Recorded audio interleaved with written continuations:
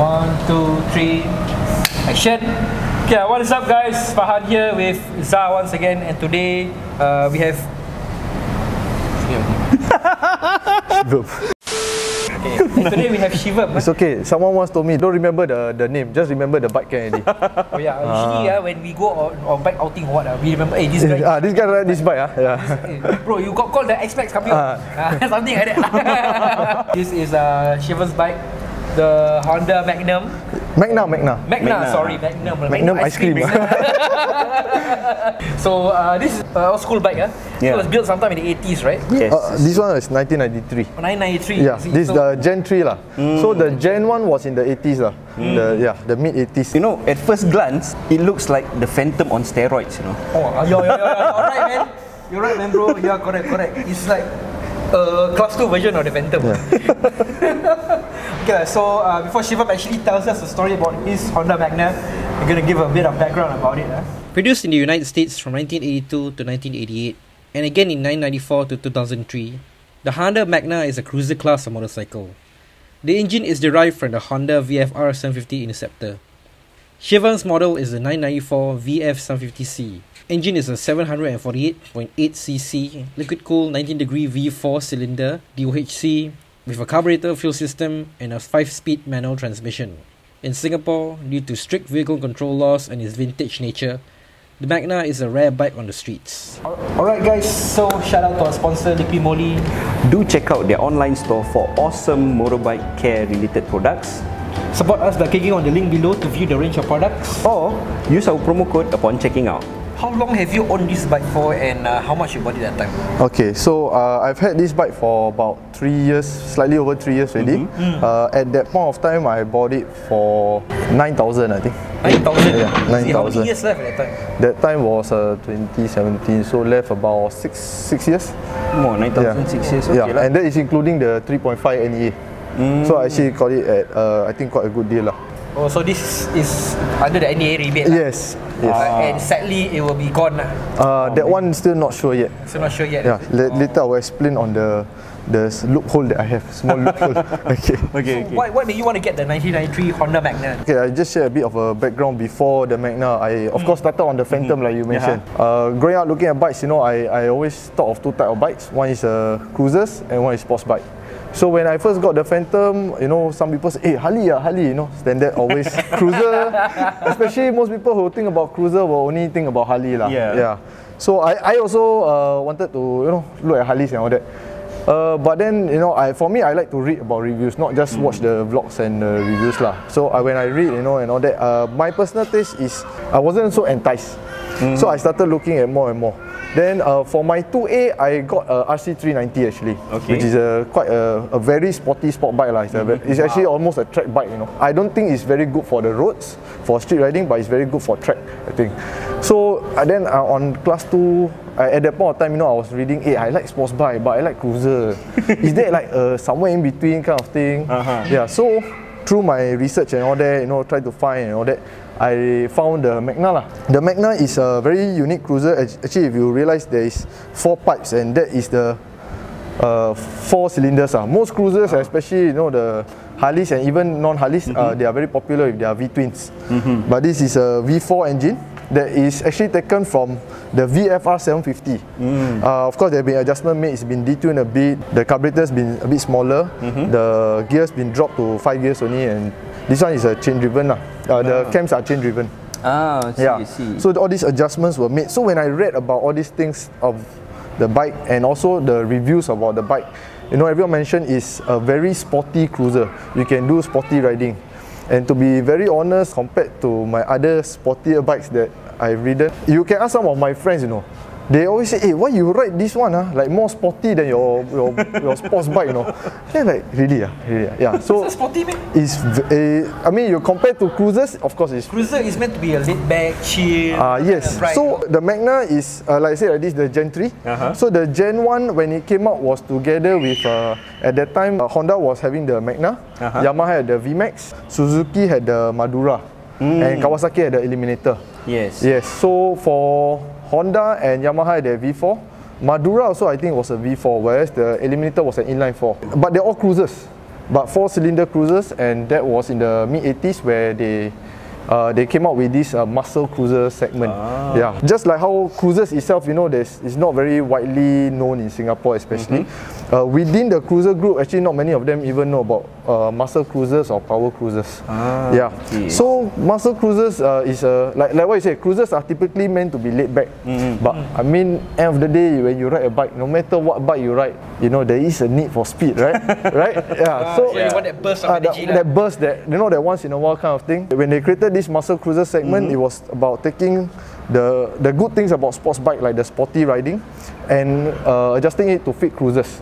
So the handling, the brakes and the suspension and all that were slowly improved lah over the years. That's where the this idea of a power cruiser comes in. Ah, I Yeah. see, see. I mean, with all these things and all the reviews that the handling is great, the clearance is actually slightly a lot more than uh, typical cruisers. Or that, yeah, so tha- that's what draw me closer to this bike. Then next came the the thing about 1993 lah. Aha. It's the What is last year, eh? is the it- uh, uh, final no, year. No, the first year. For The the, first the for the Gen 3 is the first year. Oh, okay. Oh, Yeah. I read it wrongly. or maybe it's 1994, is it? 94, yes. Yeah, 94. So this is a 1990. The because you know they will model the next year. Next year model is they put it at this year kind of thing. The, Yeah, the yeah. earring. Ah, this was the first year. The model remained unchanged throughout the 10 years ah, until 2003. ah, yeah. I tried to find uh, many newer ones, but then because of the NEA, ah, so this is where the NEA come in. I was very lucky. I'm, I mean, extremely lucky. Apart from the condition of the bike, the registration date for this bike is actually 1st July 1993. Uh-huh. And for the NEA, right, is uh, it has to cut by 30th June 2028. So that will be the very last day. The following day will be 35 years, and then you can be on the classic scheme. Very, very, very, very lucky for me. Yeah. damn lucky is that bro. Yeah. So you, you plan to convert this to a classic scheme lah. Uh, if uh, if the stars and moons aligns and everything goes well, I hope so lah. I thought of selling this bike. I did try to sell it, and uh, I found that. Uh, the market is not really there for this bike. Yeah, and of course, the there are few people who know about this bike and want the bike, but they are collectors. They you know uh, they have they have to spend money on a lot of bikes, ah. So they may not offer a very good price. Yeah, if you yeah.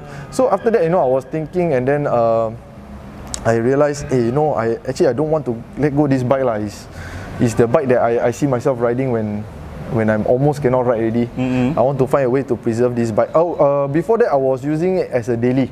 Ah, yeah, I use it as a daily. I use it uh, to go for leisure rides also. I use it to go for a bit of uh, not really touring, but you know one two day kind of trip. Uh-huh. Yeah, up north. So it, it was very comfortable. It was there, there are a couple of uh, issues with this bike which later I will share also. So uh, I, I have a lot of memories with this bike and I don't want to let go of the bike. So just nice, uh, one of my best friend, he's at that point of time uh, his wife was pregnant, so he stopped stopping to ride. Then just nice like, hey bro, why not you take over my bike? Then once in a while you can ride, then I can preserve the bike. Yeah. Ah, So it was a it was like a Win-win lah. win-win lah. So yeah. He's actually here right now lah. Yeah, camera he's here shy lah. Camera shy lah. He don't be he don't be on camera lah. So it's okay, it's okay. okay lah. Yeah. So uh, well, I think you talk is back. Uh, Uh, sorry. We also don't know. We also like how to say uh, overwhelmed with what you have Yeah, said. true. And it's like uh, we can really see the passion that you have to the Magna. lah. In your three years of ownership, right? Has this bike given you any problems or issues? Being an old bike, you know. Okay. 1993. Yeah. Uh, the bike when I first got it, the carburetors were leaking. oh, okay. Uh, to get the carburetor changed, uh, I managed to thanks to this uncle at a shop. I mean, this one I cannot bring to all the hi-fi shop lah. The the mechanic there won't understand. In Ape- fact, shop ah, also yeah, cannot lah, uh, ape shops can. Oh, so when I was uh, doing my RC, right, I actually found a good mechanic at this shop. But when I brought this to him, uh, I'm very thankful that the mechanic was very honest. I think he's uh, very respectful. He told me, bro, uh, I think there's some problem with your carburetor, but I'm not too confident on working on it. Oh, okay. Yeah, so he, I, I, wow, I, I respect that a lot lah because rather than you know he do something wrong with the bike and then Yeah. yeah, wow, it's so heart pain so I tried to call back the previous owner, ask him you know where you service everything. He directed me. I told the uncle I want original, the carburetor, and he managed to get it was about a one month plus wait. Managed to uh, one month to just get the carburetor, then another one month plus to ship it. Oh, I read somewhere this bike is made in America. Uh, yes. I think would that be an issue for parts Uh, to bring in? You know. It wouldn't be I think bringing it wouldn't be issue, but before that we'll be finding the parts. Yeah, because it's uh, Honda stopped making it already. Yeah. yeah. So that It's one like was the second. This is like I would say the, the bike below Gold Wing. ah yes. I read somewhere. Yeah, because- Oh no no no. Uh, I would say the the Valkyrie. Valkyrie. Yeah. Actually, the Valkyrie and the Gold Wing are like so-called cousin or sisters. Ah, ah. Uh, so, but the Gold Wing is more towards the touring side, then the Valkyrie is more towards the, the muscle cruiser side. Ah. I tried the Valkyrie also when, when I wanted to sell this, but I found that the six cylinder is too smooth for me. Ah, so I think four cylinder is just nice balance between two and six lah. two is a lot of rumble, six is too smooth for me. So uh, I stick to four. something um eh. I need, you always need that, a bit of um lah. Yeah. I, I We must have, to, we have to hear the sound later. All right. I must say the, the the the way you take care of it, the chrome, you know, is very very beautiful, sir. Actually, if the previous, uh, I uh, oh, when I was riding this bike, right, one one day suddenly there was this guy horning at me, playing his. I thought, what happens, yeah? Ah. Then he, I stopped at the road. Then he pull up beside me and then say, "This is my bike." Then I, eh, did the owner sell me a stolen bike or what? I said, cannot be lah, this Singapore ah. So I like, so we, we follow, we follow, we stop, I stop. Like, eh, this used to be my bike. Oh, then okay. So after that we stopped somewhere. Then we just started talking. and the best part is actually I, I was uh, uh, going out on a date and my date was just standing there awkwardly. yeah. But we were just talking about bikes. So you all talk about bike Eh, only lah. just talk about. name was there. yeah, needless to say that that day is no more already lah. yeah, so he he told me about uh, actually he restored the bike to actually a much better condition than this. In fact, if he see this now, maybe he will be angry at me lah. Maybe he will Angry or why? Why? This, Uh, this one is like mean, sia, bro. Yeah, but that, that because just now I just watched. because know. You add this He just so- wash. I just yeah. So uh, yeah, so uh, is uh, like example like this part. I got the aftermarket mirrors and is the, this is a China quality one lah. Yeah, but I I like the design, but I try and try and try. It's getting worse and worse lah. But this one aftermarket one, so no worries. How would you rate its performance compared to the what other bikes that you have rode before? Actually, yeah, he has two bikes. Uh, so the other bike is a Yamaha VMAX. Uh, so which we will be uh, reviewing reviewing after this. Uh, I did try a few cruises, uh, the V twins, and I found it very for for my personal taste. I found it severely under underpowered lah. Yeah, uh, especially because I think I rode a sports bike before, a high revving track oriented bike like the RC390. For the rest of the cruisers, I think is. Uh, is there is no doubt that in terms of performance this will win. This ended in 2003. In 2010 they conducted a test ride of the best muscle cruisers and uh, or the fastest accelerating muscle cruisers. This was the only bike I think below 1000 cc compared to them. And but in the top 10 list, this bike was number three. Oh, sorry, uh, number four. The only three bikes that were faster than this in acceleration were the Yamaha VMAX, the older Yamaha VMAX, the Harley Davidson V-Rod, and the Honda Valkyrie. Ah, yeah. okay. Eh, sorry, I think the Valkyrie was slower than this. I'm not too sure. Yeah. So uh, Comparable lah. Comparable lah, yeah. Almost the same lah. for an engine that is a 750cc, it can outrun uh, for cruisers lah. It can outrun cruisers that is twice its size and even more. Uh, Surprising to hear. yeah, that is because uh, most of these cruisers they are V twin with only two valves per cylinder, but Ah. this is a V4 with uh, four valves per cylinder, and like I said, it's from the VFR 750 engine, uh, uh, engine that is designed for sports bike. Uh, but of course, it's detuned to fit into a cruiser. When I compare it to my Phantom, it feels very familiar because of the posture. Yeah, it's slightly uh, wider stance for both my hands and legs, of course, because it's bigger, but uh, it doesn't feel too awkward. It doesn't feel too weird. In fact, uh, for myself and even my friend who who is riding the bike now currently, I think if I were to ride in the rain, other than the brakes of this bike, I would I still enjoy riding it, even though it's in a rain and traffic, because that's how comfortable this bike is. Ah, And I would say that it is more comfortable than my current two bikes lah. Yeah, both the Busa and the VMAX is definitely more comfortable than that. So what's your height? What's my height? Yeah. Uh, I'm 174. 174 and then the, uh, is it it's not too awkward for you lah? Uh, no. Feet are totally touching the ground. Uh, yes, I can uh, walk forward, walk back, and everything. Yes. It's very low, ah, guys. Yes, it's a very low seat. If I'm not wrong, it's 28 inch, I think. Yeah. The pillion seat also looks comfortable lah. Got Yes, backrest. got backrest. Yes. Uh, and then you told us there's some function of the backrest. Is it? Ah, yes, this one got dual function. Do you want me to show? Can lah. Can ah.